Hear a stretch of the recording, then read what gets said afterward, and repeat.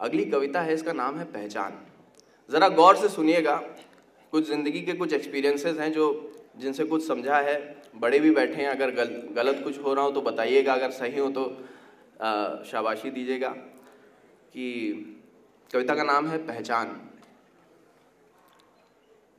हम अपने आप को अपने चेहरे से नहीं पहचानते। हम अपने आप को अपने चेहरे से नहीं पहचानते नहीं बुलाते खुद को अपने नाम से। घर के बाहर लगी नेम प्लेट दूसरों के लिए है। दूसरों के लिए छपाते हैं विजिटिंग कार्ड आईना देखते हैं, जाने से पहले दूसरों के सामने। चेहरा जितना भी साफ़ हो, हम जानते हैं बदसूरती का हाल। हमारे ख्वाब, हमारे ख्याल हमारे ख्वाब, हमारे ख्याल जिनमें टूटती सीमाएँ संभव और संभव की समस्त कल्पनाएँ लेती रूप और आकृति दिखती हैं हमें पॉइंट ऑफ़ व्यू से। पॉइंट ऑफ़ व्यू जिनमें हम तो होते हैं, हमारी पहचान नहीं होती।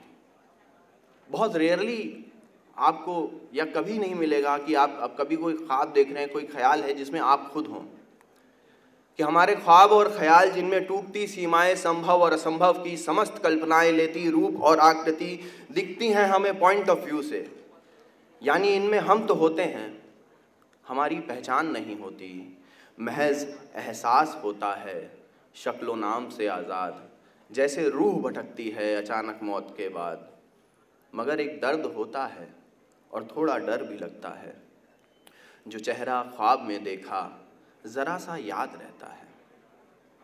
हमारा नाम लेकर फिर कोई झंझोर देता है, वो ख्वाबों की असल दुनिया अचानक तोड़ देता है और हम फिर जाग जाते हैं, स्वयं से भाग जाते हैं, आईना देखते हैं और वो सब कुछ भूल जाते हैं। हमारी चाह, हमारे भाव, अधूरा इश्क, गहरे घाव, वही सब कुछ जो असली है, बाकी हमारी पहचान नकली है।